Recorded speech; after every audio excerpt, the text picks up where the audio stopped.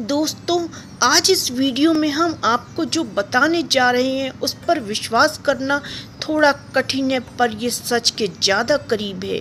आज भी दुनिया में कुछ एक ऐसी चीज़ें हैं, जो विज्ञान और वैज्ञानिकों से परे बनी हुई हैं। भले ही विज्ञान ने कितनी भी तरक्की क्यों ना कर ली हो, लेकिन संसार में कुछ ऐसी कुदरती चीज़ें मौजूद हैं जिनके आगे विज्ञान की थ्योरी भी फेल हो जाती है।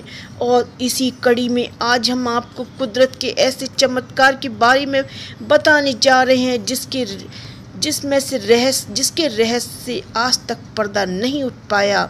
हम बात कर रहे हैं फ्रांस की बरकंडी राज में बहने वाले फॉसियोडोनी स्प्रिंग के बारे में।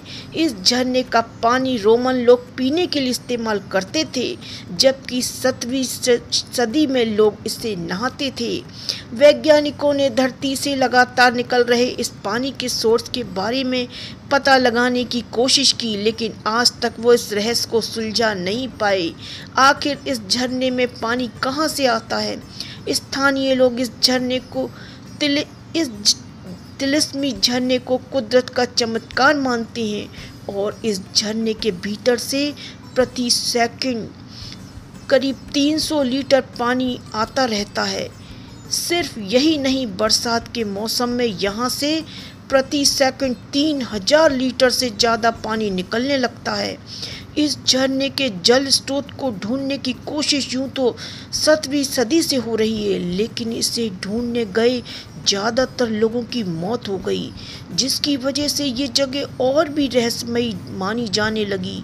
इस झरने को लेकर कई लोगों का मानना है कि इसमें पानी दूसरी दुनिया से आता है और वो जगह सांपों का घर है।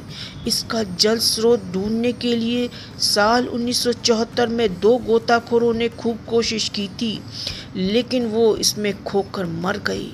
इसके बाद साल उन्नीस में गोताखोर ने फिर कोशिश की, फिर उसके साथ कुछ ऐसा ही हुआ। किसी को भी आज तक उसकी खबर नहीं लग सकी।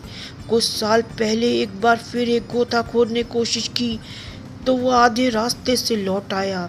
यूँ तो धरती से फूट रहे इस झरने का सोर्स जानने के लिए कई बार कोशिश की गई, लेकिन इसमें कोई सफल नहीं हो पाया।